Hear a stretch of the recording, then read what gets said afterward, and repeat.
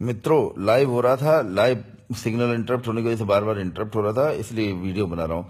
दोस्तों मैं मुझे, मैं कसम खा के कह रहा हूँ, मैंने अपनी पूरी ज़िंदगी में, पूरी ज़िंदगी में पचास प्लस का हो रहा हूँ, लेकिन पूरी ज़िंदगी में मुझे ये ज्ञान कभी नहीं मिल पाया था कि मेरे देश का सच्चा ईमान पसंद हिंदुस्तानी मुसलमान हिंदुस्तानी मुसलमान। ये मुस्लिम न सीरिया का है, न पाकिस्तान का है, न इराक का, न अफ़गानिस्तान का, बाहर का मुसलमान अलग है, बांग्लादेश का अलग है, सब जगह का अलग है। लेकिन मेरे देश का जो सच्चा मुसलमानी मुसलमान है ना, हिंदुस्तानी मुसलमान, जो दुर्गा पूजा, दशहरा, रामलीला, होली, दिवाली, ईद बकरीद सब में हमारे साथ शिरकत करता है ना, वो बेहद सच्चा है।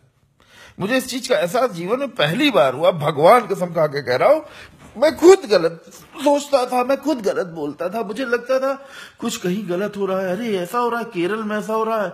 अरे, पश्चिम बंगाल में ऐसा हो रहा है, अरे, वहाँ ऐसा हो रहा है, वहाँ ऐसा हो रहा है। ये सब मैं सोचता था।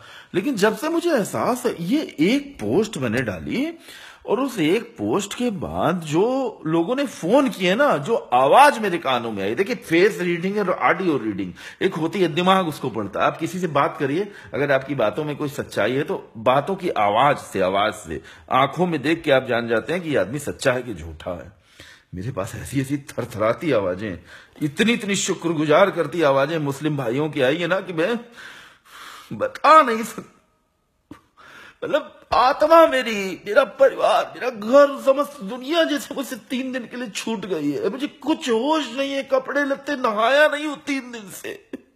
क्योंकि ये ऐसा एहसास अरे बाप रे बाप, हमारा हिंदुस्तान कितना प्यारा है। हमारे हिंदुस्तान में कितने प्यारे मुसलमान भाई है हमारे, जो देश से बहुत प्यार करते हैं। और कुछ हिंदू और न्यूज़ चैनल साले आग भड़का रहे रोहित सरदाना। अबे रोहित सरदाना, एक बाप की औलाद है ना, एक बाप है ना तेरा। चल मुझसे बहस कर, रोहित सरदाना। जितने भी पत्रकार हैं, जो भी हिंदूवादी बने एक बाप की औलाद है, एक मतलब असल बाप की औलाद चुनौती दे रहा हूँ, केवल मुझसे बहस करो। खुली चुनौती है सारे टीवी चैनलों को, सारे हिंदूवादी पत्रकारों को। एक अनिल उपाध्याय, ब्राह्मण हिंदू हूँ। असली ब्राह्मण बाप की औलाद, ये असली पुलिस वाले, ईमानदार पुलिस वाले की औलाद। चुनौती दे रहा हूँ, मुझसे बहस करके दिखाओ अकेले। केवल बहस करके दिखा दो। सच में बहुत अब्दुल हमीद को बचपन में पढ़ता था, रोता था। अरे पैटर्न टैंक के पीछे जान चली गई लेकिन, अरे यार। अरे यार, गलत समझा जा रहा था अब तक। हिंदू और मुस्लिम के दंगे टीवी चैनलों ने भड़काए, साले भ्रष्ट चैनल भ्रष्ट चैनल। तुम्हारे छोटे पत्रकारों को तनख्वाह तक नहीं मिलती है। तुम लोग साले इतने बड़े लयमार हो, इतने बड़े लयमार हो, तुम्हारे स्टूडियो में कितने दुष्कर्म होते क्या बताऊँ? टीवी चैनल ले डूबे हमारे देश को। आगे नहीं बोलूँगा। मैं मेरे आँसू निकला है, रोने लग गया।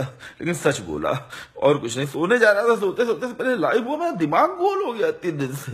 दिमाग खराब हो गया एकदम से लग रहा है, क्या हो रहा है यार, हम किस दुनिया में, हमको तो चूतिया उल्लू बनाया जाता टीवी चैनल उल्लू बना रहे थे। हद हद हद